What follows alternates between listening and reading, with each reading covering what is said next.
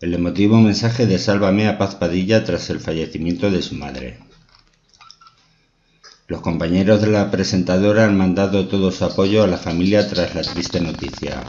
Dolores Díaz, la madre de Paz Padilla, ha fallecido este martes a los 91 años de edad en el Hospital Puerta del Mar de Cádiz.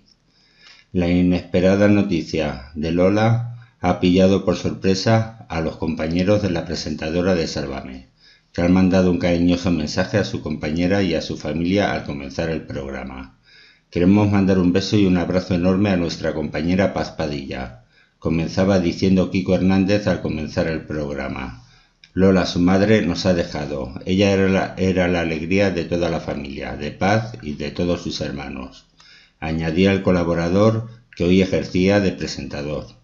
De este programa que tantas tardes ha estado viendo, le queremos mandar un enorme beso y que descanse en paz, expresaba Kiko muy, muy confundido, muy compungido por la noticia.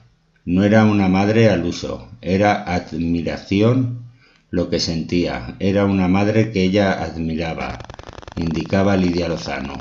También las cuentas oficiales de Sálvame Mediaset y Got Talent España le mandaban un cariñoso mensaje y las condolencias a través de Twitter.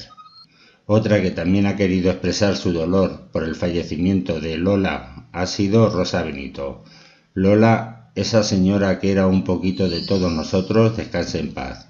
Te quiero, Paz Padilla. Escribe la que fuera compañera de la presentadora en el programa de Telecinco. Esta es la noticia, coméntala, suscríbete al canal y muchas gracias por estar ahí.